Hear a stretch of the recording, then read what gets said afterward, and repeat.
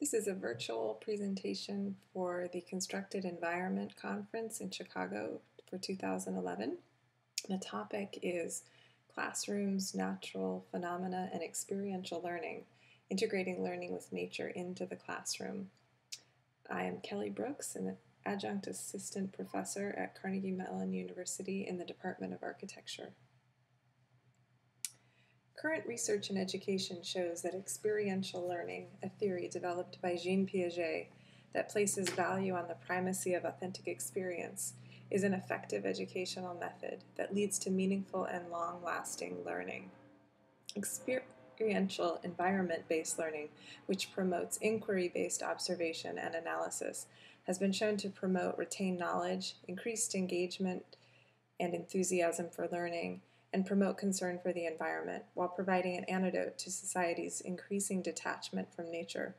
Outdoor education promotes experiential learning and fosters direct contact with natural phenomena. I would like to highlight a critical aspect of contemporary environmental education to view nature not as a subject to learn about, but as a tool to learn with. Rather than relying on occasional outdoor excursion, as the current pedagogy suggests, Classrooms should provide direct interaction with natural phenomena in order to allow students to develop a deep understanding of traditional subject matter while reflecting on the directness and complexity of their experiences. It's not just the access to outdoors that is important, but the proximal relationship of natural phenomena to the learning environment. Contact with the natural environment is critical to human cognitive development and, by extension, one's ability to learn to learn. Outdoor deficit behavior is a condition identified by Richard Louv in his book Last Child in the Woods. As we lead increasingly interior lives, technology has become a proxy for direct experience. It is the province of design to recognize the effects of this trend on the human psyche and the responsibility of designers to pose solutions to this condition. It's important to consider the role of the classroom in this solution, as it is here that the majority of educational instruction occurs. Unless we eliminate the classroom altogether, as some who claim it's obsolete say we should, it's critical to set forth strategies for making classrooms more experiential and specifically to place students in sensorial contact with natural phenomena. The following is an attempt to characterize school building and classroom types relative to the time period and their relationship to the environment. The first type, the one room schoolhouse from the 18th and 19th century, Schools were decentralized with no federal oversight. Schools were a community center for rural communities. Parents had the responsibility for the school, like repairing buildings, providing firewood and heating, and building desks. Teachers often lived with local families, rotating household to household. Schools consisted of one single class of 10 to 40 students of mixed ages. Windows were the only source of lighting, and every wall had an opening to the outdoors. Because these schools consisted of only one room, there were no corridors and few barriers to the outdoors. This school type was put out of date in part by motorized school buses in the 1920s. The second model, the Ford model from the earliest 20th century, in 1918, all states passed a law requiring children to attend at least elementary school, which required many more schools. Before 1930, an average school size was less than 100. The purpose of schools was to train workers for an industrial economy. In the model referred to as cells and bells, classrooms were arranged in a linear fashion based on an assembly line. Students moved from one subject to the next at a set interval marked by bells ringing. Learning was thought to occur via transmission of knowledge from teacher to student in a linear fashion. Every classroom had a large amount of windows because they were the primary source of lighting. Furniture arrangement was hierarchical, consisting primarily of individual desks. Because the buildings were larger and many of the functions of the school became centralized, there were fewer items associated with the home, like centralized heating, janitor, and supply closets for cleaning, etc. The third model, uh, the modern type from 1940 to 1970, schools became more centralized. In 1940, there were 117,000 school districts, and in 1970, there were 19,000. The average school size increased fivefold from less than 100 in 1930 to 450 in 1970. Elementary schools became predominantly single story buildings. Classrooms typically had a door opening directly to the outdoors, not via a corridor, connected to a space for outdoor learning. Large amounts of glass allowed transparency and openness. The furniture arrangement was more flexible than in the previous models, but still consisted mostly of individual desks. Classrooms of this type had electric lighting, but typically not air conditioning. An extreme change occurs in school building design as a reflection of the changing school system in a post war society. American school designers were influenced by progressive design methods from abroad, in particular British wartime school designs. Many of the changes in British school designs were strongly influenced by post war economic policies such as garden allotments and health policies such as open air schools for tuberculosis patients.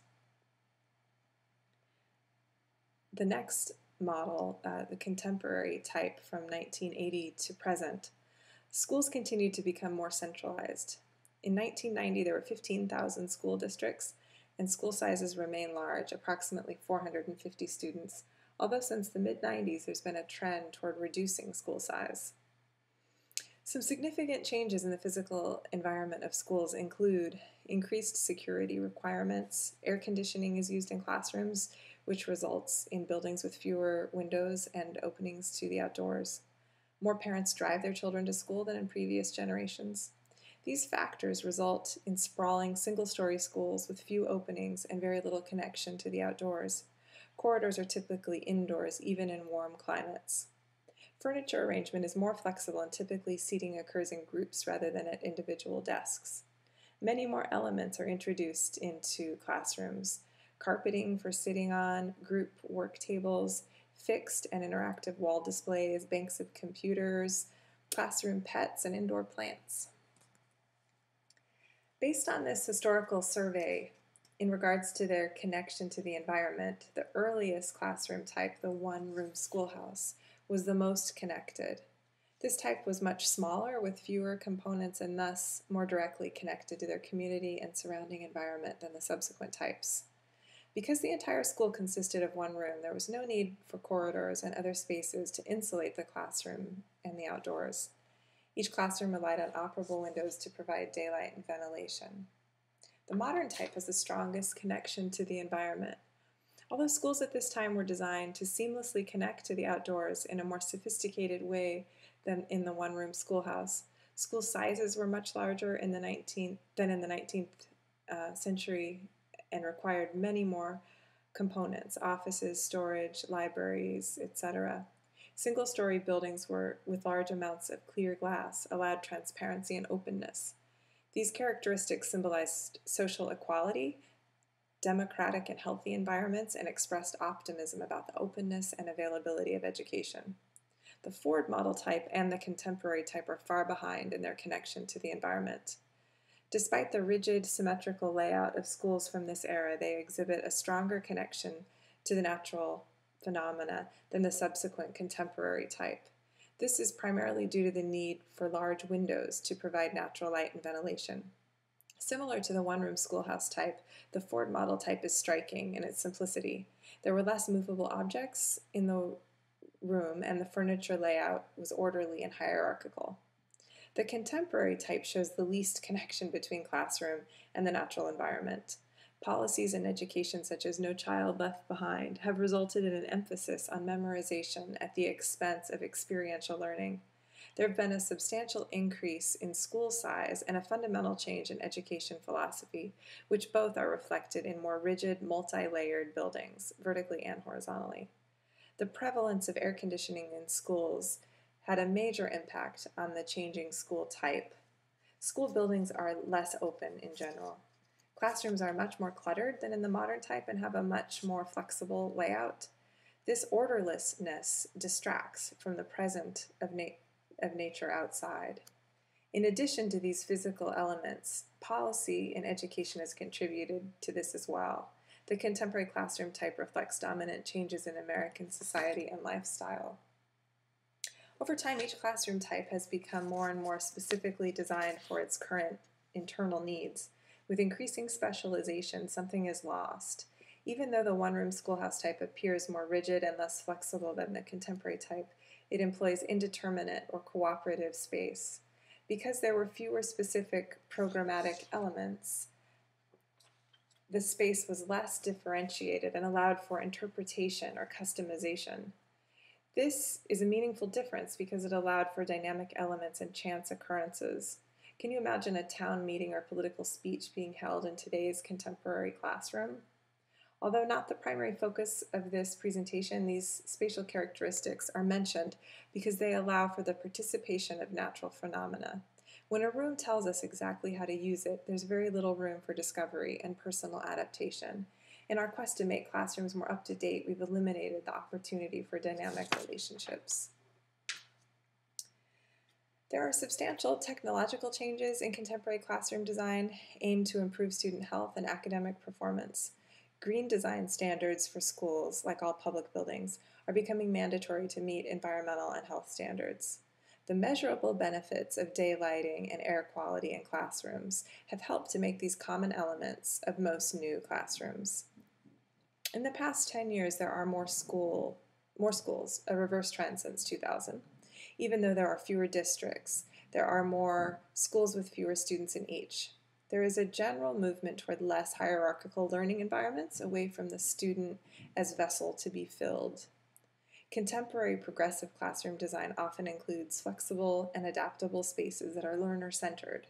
Shared space and resources facilitate team teaching. Place based education allows direct engagement with places and circumstances and is thought to promote individual engagement via real life situations. All of these current directions in classroom design support connections to the natural environment. In summary, there has continually been a progressive minority view that the natural environment should play a strong role in education.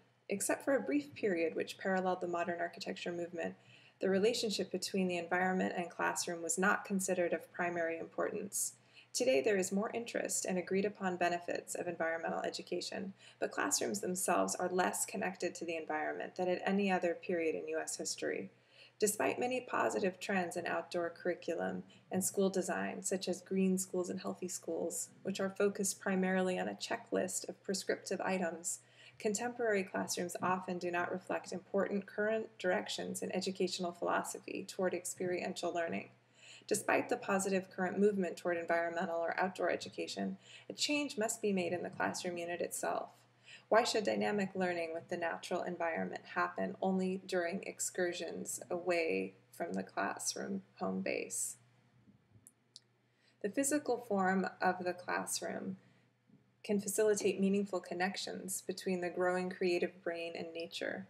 The engagement and retention of traditional subjects can be improved in an environment which allows for natural phenomena to be an active participant.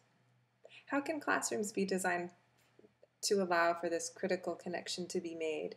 The following are some proposed guidelines. This is not a complete list, but is intended to provide some specific examples that allow that for dynamic learning with the natural environment. Provide openings to nature at the child scale. Create seamless transitions between classroom and the outdoors. Bring natural phenomena into the classroom Give architectural definition to outdoor spaces. Make structured outdoor spaces for group activity other than play. Bring nature inside the classroom. Provide situations that capture natural chance occurrences. Provide child scale furniture and learning tools outside. Take the classroom outside. That's the end of this presentation. Thank you very much.